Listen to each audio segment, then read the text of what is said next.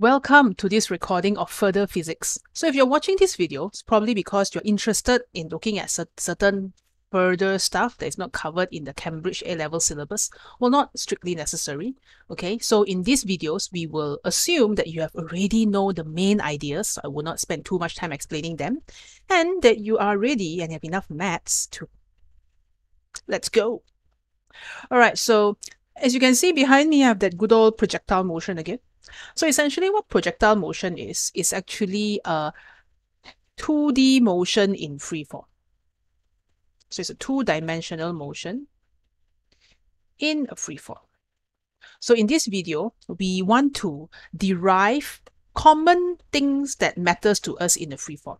Okay, so for example, uh, if I want this to launch this uh, little motorbike up like this at an angle of theta from the horizontal when I build this ramp. Let's say this is theta, this is u. How far should I should it be from the sand dune? So I want to find the range when it hits the ground. So let's say it hits the ground. Actually, this picture, it will hit the ground somewhere here. Lah. Okay, lah. let's say it hits the ground here. So I want to be able to find the range of the projectile. I also want to be able to calculate the time of flight. How long would the motorbike be in air? So range, time of flight, and I also kind of want to find the maximum height of this from the launching point, Hmax. And all this in terms of u, which is the initial launching speed, where the motorbike will take off, and theta, which is the launching angle in which I build my ramp. Okay, so before we start, we're gonna do the same thing, list down our kinematics properties. Okay, and because this is in two dimension, we have to resolve into x and y component, which is a bit more of the pragmatic way of approaching this. So we have x and y, and go S T U V A. All right. So I think the first thing I would like to look for is Hmax. Okay, so I'm going to do one for Hmax when this is Hmax. And I'm going to do the normal thing where I'll treat upward as positive. And since this one is moving to the left, I'm going to treat the left as positive, okay? Just for fun, I went and found a projectile that's flipped, okay? So this is Hmax. Upward is positive. You started here, okay? You ended here. So right now, here to here is your Hmax. Okay, so measured upwards. T will be, let's say the time of flight is capital T. So let's say here T is equal to 0 zero second when you T off, when you launch. And when you land here, T is equal to capital T. So at the halfway point here, T will be equal to T over 2. So meaning this one, I'm going to put t over 2. This one, I'm going to put t over 2. And what else? This range, is it the entire range? No lah. If I choose this point here, it is the halfway mark. So this point, all the way measured from the starting position will be r over 2. Okay, cannot see. Let me change color. This one would be r over 2. Okay, so this one will be r over 2. Purposely one. All right. So what else to do? We need to resolve the vector into the x and y component, not just put s and t. Lah. So right now, we will resolve this u. Okay, u will be at this angle. So I'm going to resolve one component that uh, shoots it upwards because it is the component without an angle. This will be u sine theta. Moving up, so it gets a positive u sine theta. Okay, and for the horizontal component, it is right beside the angle theta, so this will be u cos theta. Teacher, pointing to the left need to put negative. Uh. No need lah. I treated the left as positive. Okay, for convenience sake. All right, yeah. And also the R is from is towards the left, so this one will be positive too. So direction, it's really up to you. Okay, depending on what is convenient. Um, I know for sure so whatever that I write here is confirmed one. It's the same all the time for, for it to be called a projectile motion. You will have a velocity in the x direction that is constant. So the acceleration is zero because there is there is no no horizontal forces because we are ignoring air resistance. No horizontal force. Okay. And this gravity will be acting downwards. Your G, good old gravity, is always pointing down. G. So the vertical force, vertical force is equal to mg. All right. So this is the whole idea of your STUVA. Teacher, we don't have V. Yeah, we don't have V. Do we care about V? I mean, if you want, I can calculate them, but we don't have. But the xv, the x components v is the same. It is u cos theta. Okay, so if you don't know why it's the same, um, you can watch the video, but the short explanation is there's no horizontal forces changing its velocity. All right, so now we're ready to form two equations. Okay, let's go. So I have copied over the STUVA STUVA list, and now we can choose to form equations. So since I have little information about V, I will actually uh, use the equation of S is UT plus half AT squared. Okay, but now I'm going to first try it out on the X component. So what we're doing here is we're trying to just put in the values and see what it leads, where it leads us. Okay, so this one will be R over 2 is equal to U cos theta time of flight over 2. So right now I have R is equal to U cos theta times T. Okay, so I want to be able to find range in terms of U and cos theta. So I need to substitute my T. Okay, so I put this one side first. We see how later. Okay, second equation that I could form is still S is UT plus half AT squared. But this is for the Y component. Okay, so just trying stuff out. Okay, so this will be the maximum height, h max is equal to, you are throwing up at u sine theta, okay? The time of flight here is t over 2.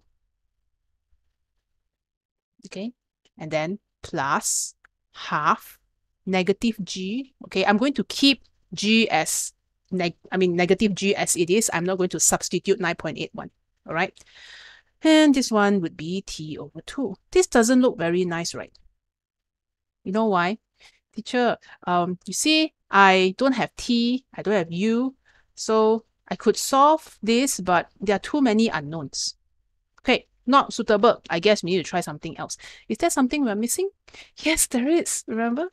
Maximum height here means V is zero, specifically Vy. So it's not that we don't know, but it's that it is zero at max height. Oh, this means we can form another equation without t. Because you see this t, oh, yeah, it's so mafan, you know, so annoying. You know, need to square, need to get rid of it. Okay, so never mind. Let's try something else. v square is u square plus 2as.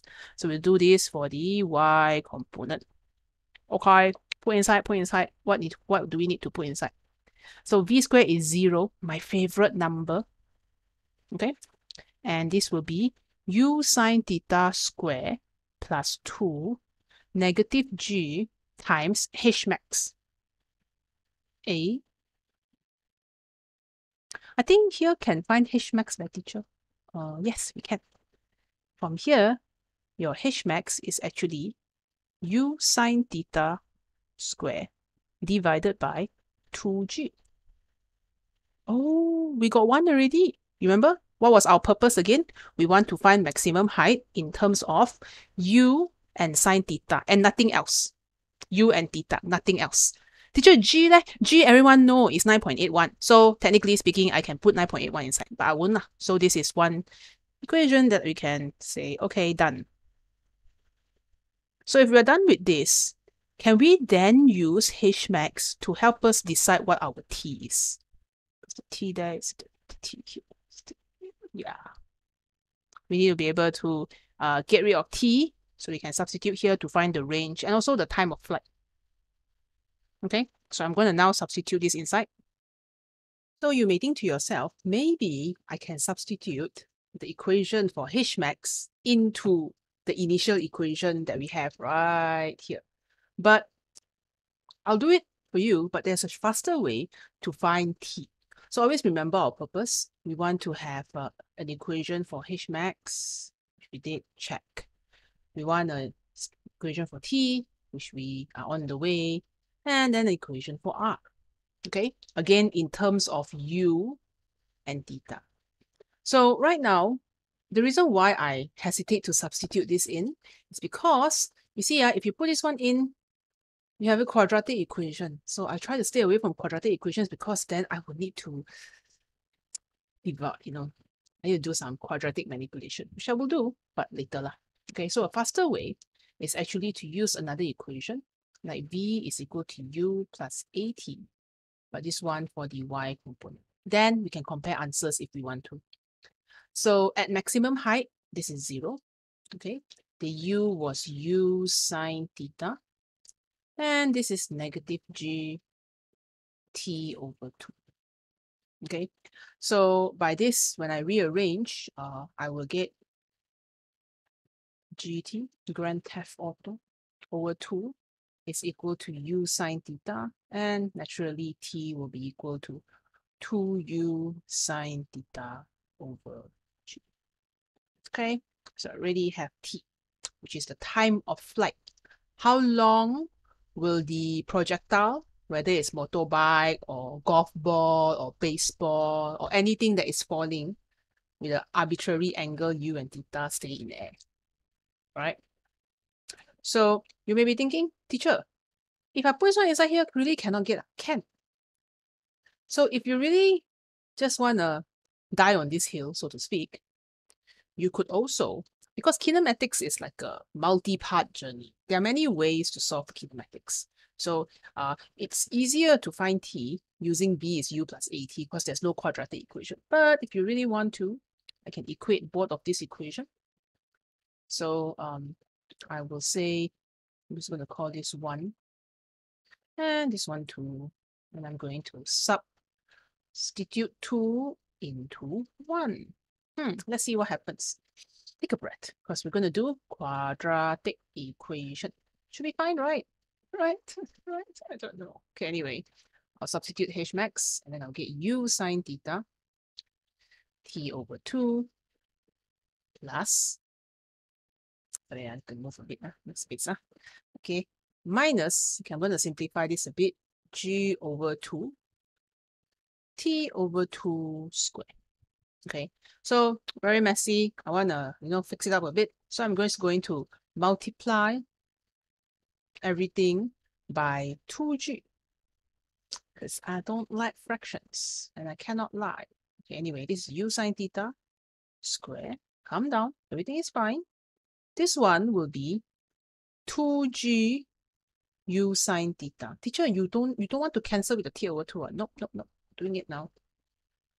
Okay, mine plus negative g over 2. u times 2g, right? Hang on, hang on. So this will be g square t over 2 squared. Okay, so now we kind of like have this quadratic equation. Okay, you may be thinking, well, there are a few choices to go forward. Lah. This can be substituted with x and then you solve for x. Can. You can also just open up all the brackets and then see what happens, which is what I'll do so now. Okay, so u square sine square theta. I think I'll just keep this in the square bracket. Okay, and uh, this one would be negative g square t square over 4. Okay, this one will cancel off. And so now you will get dun, dun, gu sine theta times t. Okay, remember t square, t square and t. You just want to solve the quadratic equation. So I move things around and I think I'll multiply everybody by 4. So when I multiply this one by 4, just to get rid of the 4, right? This one becomes 2u sine theta squared. Okay, the way I did it was, if I multiply by 4, the 4 is outside like that. Ah, then I want to throw it inside there. So if I want to throw it inside, it will be 2 because 2 square is 4. Okay, multiplying this one by 4, negative g square t square, and then plus g u sine theta times t. Okay, so I'm going to rearrange, uh, putting t square in front, positive, okay, minus gu sine theta times t, okay, plus 2u sine theta squared. This is equal to 0. So right now, I'm going to factorize. Well, okay, so I'll factorize the equation. On one side, I will have t. On the other side, I will have t. Okay, then I have to ask myself, oh, oh, my friends, to get g squared t squared, I need to take this thing multiply by this thing. Okay, in order to get g squared t squared. So I'm going to put g and g here. So that this times this, I will get this expression. Because this is the only way to get t squared. You take t, multiply by t. There's no other way to get t squared. Okay, so whenever you want to factorize something, uh, depending on what technique you're used to doing, this is how I do it. I look at the t squared term first and decide how to separate them. Okay, so there's g squared, t squared. It's going to separate it that way, right? And now this is negative. Negative, negative will give me positive. Negative times negative will give me positive. You know why? Because I need to get, I need to arrive at 2u sine theta squared, whole thing squared. Okay, so in that case, uh, I'm going to hang on, there's a G missing somewhere. Is there a G missing somewhere? And multiply by 2G.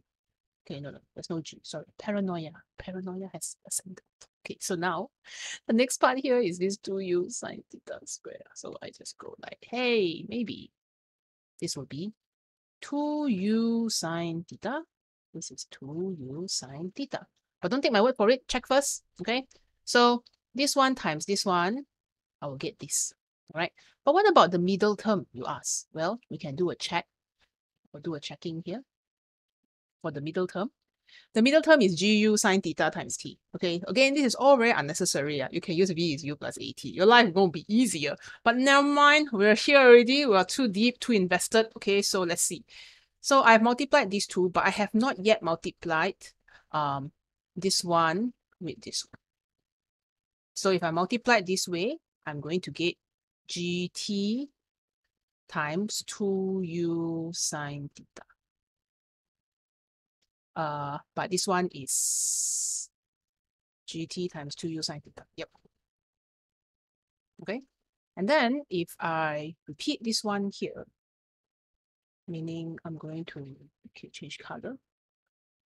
I'll take the first term multiply the second term and the second term multiply by the first term. So this one is another gt 2u sine theta.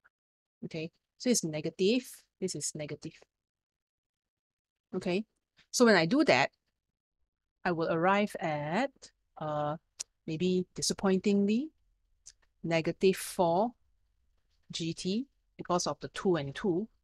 Ah, this 2 and this 2. Negative 4 gt u sine theta. Teacher, this one no 4 also? Ah, yeah lah, because a common mistake of multiplying everybody by 4 on this row. This row here is that there's a 4 here, but in the excitement of putting these 2 into the square, there's also another 4 here. Ah, so always when you factorize, double check. Don't take it for granted. Also check the middle term. Okay, so when you move positive 4 from this side of the equation to the other side, this will be negative 4. Okay, so yay, done. So this part is a check. Okay, so then hence you could say since this is uh, same roots, right? So gt minus 2u sine theta is 0. We're looking for t, right? So uh, let me rearrange a bit. We'll get t is equal to 2u sine theta. Bring the g over. Okay, let's check. Left and right, huh? Is it the same? Oh yes, my dear, my dudes, you see? Nah, nah. So just now, I was just showing you some algebraic manipulation. So if you intend to do a little bit more projectile further examples on your own time, just because you want to, um, sometimes being a bit smart in dealing with quadratics is important. And by saying a a bit smart, which I will not show in this video, instead of taking t over 2 and opening it up and having big numbers with this number 4 that can potentially make mistake, what I'll do is I will substitute t over 2 as x and look for x. And then whatever I have x later, I multiply by 2. So I want to sub t over 2 as x. That will be easier to factorize because the big numbers become smaller. But that's just my technique. If you're okay with big numbers and you don't make as many careless mistakes as I do, this is perfectly fine. If you just want to show off that you can do quadratics, I don't know. Is it, is it a thing? But anyway, I've done checking and I'm pretty satisfied with my t. Okay. So now this is easier. Use this one now. Yeah. Okay, so you have H max, you have T. Finally, we are ready to talk about range. So we know range, and I'm just going to call this equation 3 out of convenience. And we know T, so I can substitute whatever I got for T inside this one. Okay. So the next step would be, I am going to substitute T is equal to 2U sine theta over G into equation 3, which is R is equal to U cos theta times T. Double check. R is equal to U cos theta times T. Okay, boss, we can substitute now. Hence, R will be equal to U cos theta multiplied by 2U sine theta over G. So we're, we're fairly happy now because this looks uh, manageable right? This will be 2u squared. Or rather, maybe I should do this 2u, 2u squared, right? u times u is u squared. So I'll have 2 sine theta cos theta. I'm just going to put the g outside here. Hmm. Hmm. Familiar identity? Is this the double angle equation for some cosine sine identity? Ta-da! I hopped onto the internet and found the double angle equation. Okay, so right now, the one that I will use is this one, sine 2x is equal to 2 sine x cos x. See, 2 sine theta cos theta, very nice. So we're going to put this inside. r is equal to u square over g sine 2 theta. Okay, because this whole thing is equal to sine 2 theta. So in finally, we will have r is equal to u squared sine 2 theta over g. So I have arrived at my final equation, which is r. Let's write them all down. Okay, we had h max and h max was u square sine square theta over 2g u square, or rather u sine theta whole thing square over 2g. You have the time of flight, t, which is 2u sine theta over g. You have the range, u square sine 2 theta over g. Now, I don't know about you, but my memory is not the best thing in town. I will not memorize this equation because they, they look too similar lah. Some got two in front, some the two inside the angle, some the two in the denominator. Some got square the whole thing, some only u square, some nothing is squared. I stress, ah, stress, okay? So what I normally do is I derive, okay? I just try to tell myself that it is better to choose a quicker equation and I go through the steps pretty quickly if I'm not trying to explain it to someone in the recording. All right, so what's the purpose of coming up with this equation? Well, if you have these equations, right, number one, um, if given any projectile motion, as long as you know the initial conditions, which is u and theta, meaning any projectile at all, uh, golf ball, I whack at 6 meter per second, dot, dot, dot, dot, dot, with the angle of 25 degree, I can just substitute into all of these equations to be able to find how far away will my golf ball travel, how long will it be in air, what's the maximum height of the ball, etc., etc. So these equations are useful, especially if you are doing some form of coding or computing, or maybe you plan to do game dynamics, you know, maybe game dynamics, game mechanics, you know, maybe you plan to like, oh, I want to design a first-person shooter game, so I want the, the bullet to travel in the trajectory computer can do STUVA for you. Computer can go through all this process, but what happens to a computer is that it'll be very laggy. La. So computer will be happier if you just give them the equation. But that's computer. You have a bigger brain than computer, which means with your big, big brain, you should be able to, when needed, when necessary, derive it. Okay, that's the first application of this. The second application is sometimes I want to ask this question. You know, maybe it's like Olympic. Huh? I want to throw as far as I can. Okay, so I want to know what should my angle be because I cannot change how fast I throw the ball. Uh. This one limited by my hand, my strength, you know. But maybe technique can help me decide what should angle be? What should the angle be? Should it be 25? Should it be 30? Should it be 60? What is the best angle so that I get maximum range? So let's park this here. Okay. Anyway, just a note here to write. If initial conditions known, these equations are shortcuts. Um, generally, if you use them, but you use them wrongly, for CIE, you may not get marks because sometimes using the kinematics equation is where the mark is. Not stating this equation, but using this kinematics equation, UAT, uh, V square U square 2AS. Uh. Mm, okay, uh? Always, whenever you don't know whether a method is suitable or not, check your mark scheme. Okay, so my question now is, what is theta for maximum range? You want the trajectory to be as far as possible. Okay, so if I look at this, I can't change u square, charge in g, can't, can't change g. So I can say for the max value sine 2 theta must be equal to 1. Okay, because sine 2 theta cannot be more than 1. Uh. 1 is the maximum value of any uh, sinusoidal function, sine cosine function. So right now, um, I know that 2 theta will ergo be 90 degree, or you can press your calculator if you don't know this. And theta is 45 degree. Okay, so if I want to draw a trajectory behind my head, okay, and if let's say I launch the ang the trajectory, I have a few different angles. Okay, so I could launch it at 45. Or I could launch it at uh, 60.